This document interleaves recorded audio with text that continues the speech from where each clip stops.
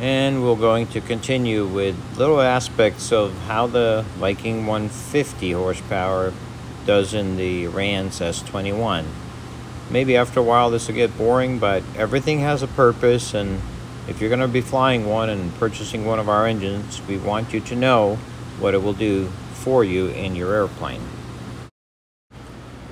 So what is the fastest your Rans S21 will go with this engine? Well,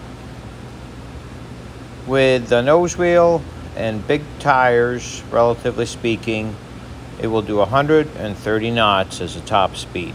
That's 150 miles per hour. So if I were to buy one of these, what would I get? Well, you will get everything that you need, including this nice sleek cowling that's a low drag. You'll get a propeller, you'll get the engine, engine mount, fuel system, electrical system, and on and on and on. So Viking has the firewall forward package and the engine for the airplane that's all been tested and ready to go.